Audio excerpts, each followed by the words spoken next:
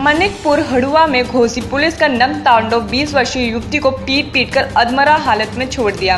वह गंभीर रूप से घायल है, वह प्राइवेट हॉस्पिटल में उसका इलाज हो रहा है। गुलाबी सेना की जिला अध्यक्ष मीरा यादव की दिहाड़ है कि अब आर पार होगा फैसला।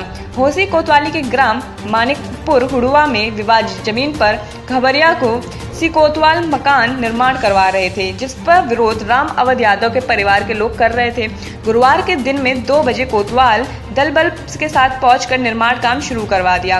विरोध कर रही रंजना यादव, पुत्री स्वर्गवासी राम अवध यादव, उम्र 20 साल को सारे गाँव के सामने लात घूसों से बुरी तरह पीट कर घायल अवस्था में तड़पता हुआ छोड़कर गाली देते हुए वापस चले गए।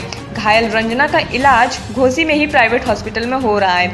इस घटना की जानकारी होने पर गुलाबी सेना की जिला अध्यक्ष मीरा यादव घटनास्थल पर पहुँच कर जाँच पड़ताल में पीड़ित के पास पहुँची और वास्तविकता की जानकारी ली। उसके बाद उन्होंने कहा कि अब लड़ाई आर पार होगी।